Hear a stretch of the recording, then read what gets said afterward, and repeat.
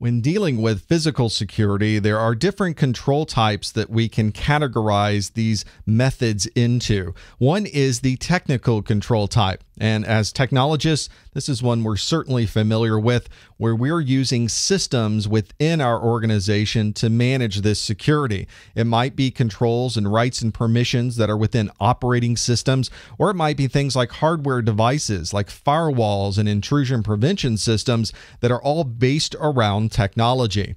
There are, of course, also administrative control types as well. These are policies that help control how people act. So, if you're going to set up security policies, formal policies that you might have in a book or an online resource, or maybe you have standard operating procedures so that people know how to handle a visitor that comes into the organization. What do you do when somebody is brought on board as a new employee? And what do you do when somebody leaves the organization? Those are all wrapped around the administrative side of those control policies.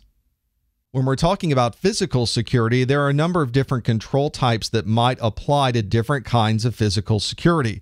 One is a deterrent. A deterrent doesn't necessarily keep anyone out of a particular area or prevent access to a particular area, but it does discourage them from going into a room or gaining access to a particular area. Maybe this is something like a warning sign that tells someone that they probably should not be gaining access, or this particular area is for authorized personnel only.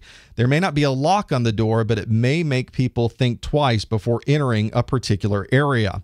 Another physical security control is the preventive control type. In this case, we are going to prevent somebody gaining access to a room. In this case, we might have a door lock that's always going to be locked. You only gain access to the room if you happen to have the key. Or maybe it's something like a security guard who's going to check a list and only going to allow the correct people to enter that particular area. Another physical control type is the detective control type. We are detecting access to a particular area of the organization.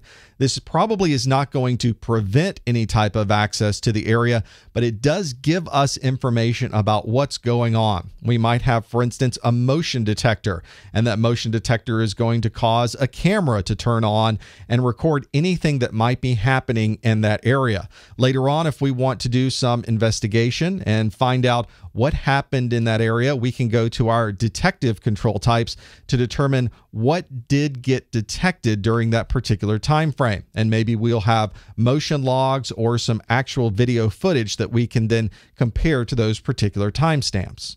And the last physical control type that we will talk about is the compensating control type.